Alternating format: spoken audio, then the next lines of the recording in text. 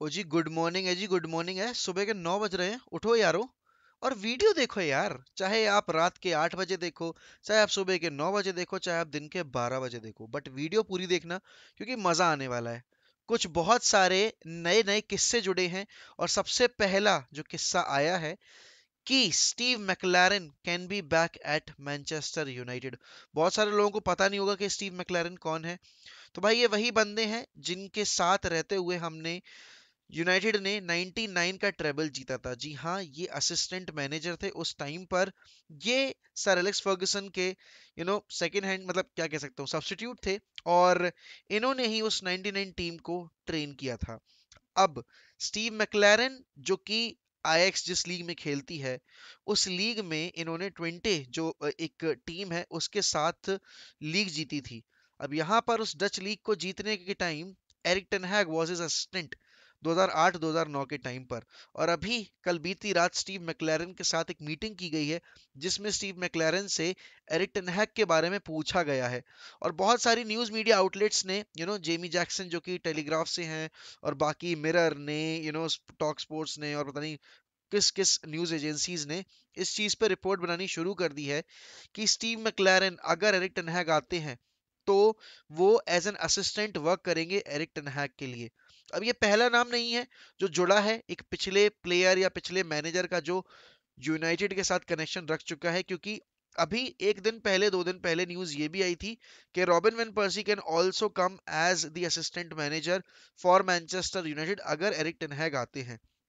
अब, इस पूरी कहानी में एक ट्विस्ट ये आ गया है कि पीएसजी ने हाथ खड़े कर दिए हैं कि अगर यूनाइटेड आए और बात करना चाहे पीएसजी से यू नो पोचेटिनो के बारे में तो Pochettino will let you know sorry PSG will let Pochettino go और उसके पीछे रीजन ये बताया जा रहा है कि कहीं ना कहीं पीएसजी ने अपना सब्सटीट्यूट ढूंढ लिया है।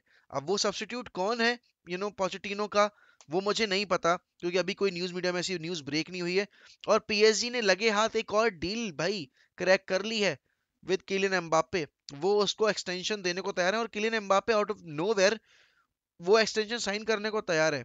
अब क्या इसके पीछे वजह यह है कि पोचेटिनो के जाने की वजह से किल एम्बापे एक नया कॉन्ट्रैक्ट साइन कर रहे हैं या जनेदिन जिदान की कंफर्मेशन कहीं ना कहीं पर्दे के पीछे रहते रहते हो रही है पूरी पीएसजी के केस में, इस वजह से एम्बापे स्टे करने को तैयार है। अभी कोई 100 परसेंट न्यूज़ नहीं आई है कि ऐसा कोई सीन है बट देखते हैं क्या चलता है। अब, क्योंकि पीएसजी की बात चल रही है तो पॉल पोगबा की बात क्यों नहीं होगी? तो भैया, पॉल पोगबा के बारे में ये न्यूज़ आ रही है कि PSG are trying their level best to get Paul Pogba on board and Paul Pogba already सबको इन्फॉर्म कर चुके हैं कि वो यूनाइटेड छोड़ के जाना चाहते हैं और वो यूनाइटेड छोड़ के जा रहे हैं at the end of the season as a free agent. अब पीएसजी बात करना शुरू कर चुकी है पॉल पोगबा और मीनो रायोला के साथ। हाँ भैया, मीनो रायोला, पॉल पोगबा के एजेंट हैं तो उनके साथ बात करना ज़रूरी है, क्योंकि वो बिन पेंदी का लोटा है मोटा, वो कहीं भी लुढ़क जाता है। तो पीएसजी चाहती है कि सीज़न शुरू होने से पहले ही पॉल पोगबा को उस गठबंधन में बाँध लिया जाए। तो अब देखते हैं कि पॉल पोगबा जाते हैं या नहीं, बट अगर पॉल पोगबा करियर के हिसाब से मूव देखूँ तो मेड्रिड उनके लिए नहीं जाएगी, क्योंकि मेड्रिड अगर जाएगी तो वो शिवानी के लिए जाएगी और उनको ऑलरेडी प्रायोरिटी पे है, कामाविंगा का कॉन्ट्रैक्ट उनको फाइनल करना है। तो ये दो साइनिंग मेड्रिड करना चाहती है। बारसा नहीं, Juventus may be but you don't know PSG is that one club जो कि वेज डिमांड भी पूरी कर सकती है पॉल पॉगबा की। और साथ ही साथ, पॉल पॉगबा का जो ट्रॉफी जीतने का सपना है भाई, वो पीएसजी में जाकर तो आराम से पूरा हो जाएगा। तो एक अच्छा प्रोजेक्ट है पीएसजी के पास, और अगर जिदैन आते हैं तो जिदैन को बहुत दिन से चाह थी पॉल पॉगबा के साथ काम करने की। तो देखते हैं पॉगबा की वो और जिदान की वो इच्छा पूरी होती है या नहीं। अब देखो यार, मार्च के महीने का प्लेयर ऑफ़ द मंथ दिया गया है क्रिस्टियानो रोनाल्डो को।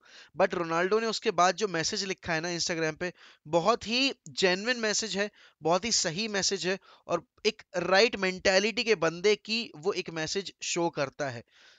रोनाल्डो ने लिखा है कि इंडिविजुअल अवार्ड्स मैंने अपनी ज़िंदगी में बहुत जीते हैं और ये इंडिविजुअल अवार्ड हमेशा मायने रखते हैं।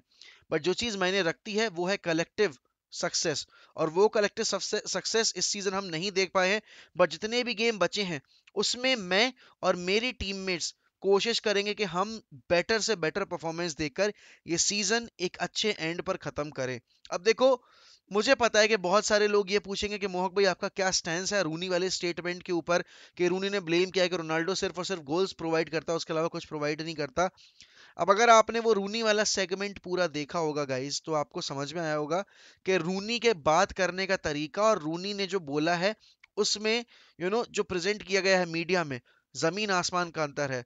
रूनी का कहना यह था कि Ronaldo is still a goal scoring machine but age के साथ रोनाल्डो का गेम काफ़ी हद तक रिस्ट्रिक्ट हुआ है और इसमें कोई मना नहीं कर सकता। रोनाल्डो की बॉल प्लेइंग एबिलिटी में कमी आई है। रोनाल्डो का होल्ड अप प्ले काफ़ी रिग्रेस, यू नो, रिग्रेस हुआ है। तो इसमें अगर कोई आके ये कहता है कि नहीं, ये चीज़ गलत है तो भाई मैं नहीं मानता, क्योंकि वो चीज़ आप हर दिन देख रहे हो।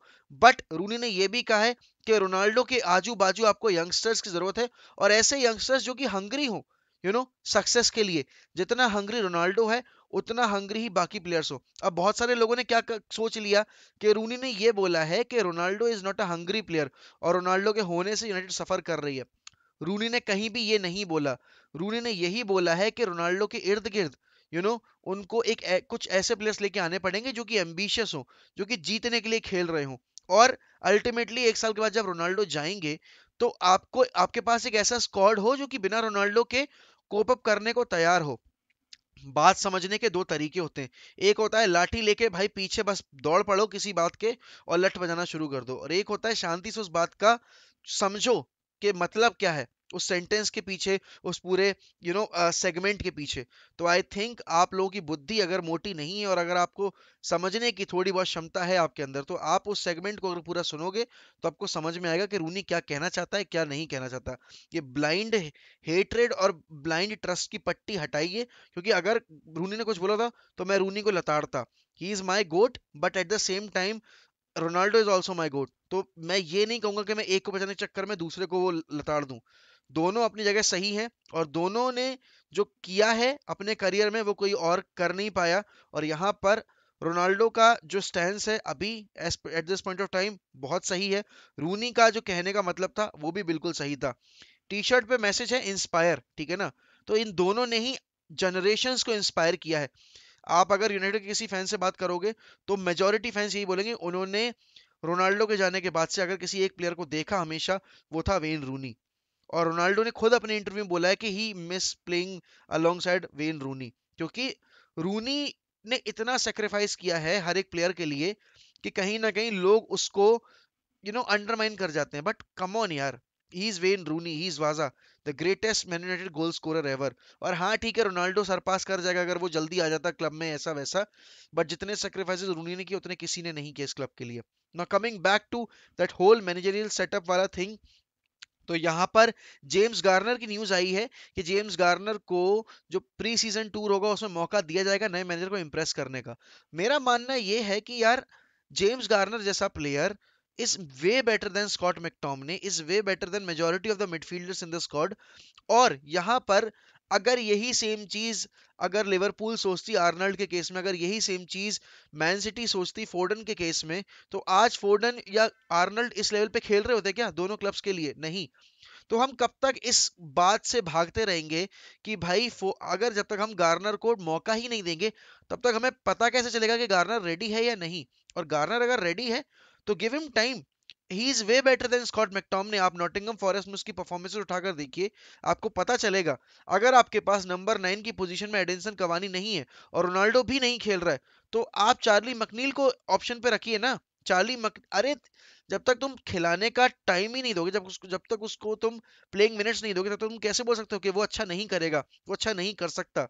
This whole mentality of Manchester United is the reason कि हम आज भी सफ़र कर रहे हैं, नौ साल के बाद भी। अब यहाँ पर एरिक टेनहैक के केस में प्लस पॉइंट ये है कि मेजोरिटी लोग फेवर में एरिक टेनहैक के।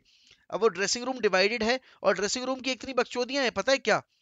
कि लोग ये कह रहे हैं कि रेल फ्रेनिक से प्लेयर्स का फॉल आउट हुआ है और उनको नहीं लगता कि रेल फ्रेनिक वो वो मैनेजर हैं जो कि यूनाइटेड को टॉप फोर में ले जा सकते हैं। इसीलिए उनको कहीं ना कहीं एरिक टेनहैक की चॉइस जो कि रेल फ्रेनिक ने रखी है उस पर भी सवाल निशान खड़े करने शुरू कर दिए। क्या गांडूपंती है भाई ये? क्या चुतियापा है? कमोन बी रियलिस्टिक तुम हो वो रीजन जो कि यूनाइटेड अच्छा नहीं कर रही है। एरिक टेनहैग आएगा, मैं उसके ऊपर शुरू के दो सीज़न बिल्कुल प्रेशर नहीं डालूँगा कि मुझे ट्रॉफी चाहिए, ये चाहिए, वो चाहिए। आप आराम से पूरे पूरे दो सीज़न लो डेवलप करो टीम को। तीसरे सीज़न में सीज़न में आप प्रोग्रेस दिखाओ नंबर टू पे फिनिश करो, या आप थर्ड पे फिनिश करो बट आपको प्रॉपर फ्रीडम मिलनी चाहिए अगर आप एक टीम को डेवलप करना चाहते हो। और अगर वो फ्रीडम नहीं दी गई एरिक टेनहैग को तो भाई यूनाइटेड फ़ैन बेस को मैं एक सिंपल सीधी बात बताना चाहता हूँ कि आपको पेशेंस दिखाना पड़ेगा। हर कोई जावी नहीं है, हर कोई मोरिनियो नहीं होता, हर कोई सर एलेक्स नहीं होते, हर कोई यर्गन क्लॉप नहीं होता, हर कोई प्रेप गार्डियोला नहीं होता। तो यहाँ पर हर मैनेजर को एक पर्टिकुलर टाइम पीरियड चाहिए होता है, एक पर्टिकुलर टाइम फ्रेम चाहिए होता है अपनी टीम पे वर्क करने के लिए। तो थोड़ा टाइम देना, जो भी मैनेजर आए, चाहे वो पॉचिटिनो आए, चाहे वो एरिक टेनहैग आए, और मैं यहाँ बैठा हूँ आपको हर एक लाइव अपडेट देने के लिए। यूनाइटेड के रिगार्डिंग तो चैनल को सब्सक्राइब करना मत भूलना, अगर आप इस चैनल पे नए हो, और वीडियो को लाइक करना और कमेंट करना बिल्कुल मत भूलिएगा, क्योंकि एल्गोरिदम में बहुत हेल्प करता है। तो till then, good bye, take care, और आई होप कि भाई एरिक टनहैगी आए, और अगर स्टीव मैक्लेरन आ रहे हैं तो भाई एक अच्छा एक रिप्रेजेंटेटिव आएगा हमारे क्लब में, जो कि इस क्लब को जानता है, but at the same time, अगर हम स्टीव मैक्लेरन के अलावा एरिक टनहैक को ऑप्शन दें कि वो किसको लेके आना चाह रहे हैं तो that will you know make more sense क्योंकि आप शुरू में ही अगर थोप दोगे स्टीव मैक्लेरन को एरिक टनहैक के ऊपर तो आप कहीं ना कहीं उसको वापस से उन बेडियो में जकड़ रहे हो, जिस बेडियो में आपने लुई विनहाल को और जोजे मोरिनियो को एक एक अपना प्रीवियस प्लेयर देके यू नो फिक्स कर दिया था तो वो चीज़ नहीं होनी चाहिए। तो कमेंट बताइए कि आपका क्या इरादा है और आपको क्या लगता है? बाकी एटलेटिको मेड्रिड वाला गेम का यू नो प्रिव्यू रिव्यू है और जो चेल्सी वर्सेस मिला मेड्रिड का प्रिव्यू है, वो मैं दूसरे चैनल पर डालूँगा तो वो देखना मत भूलिएगा। Till then good bye take care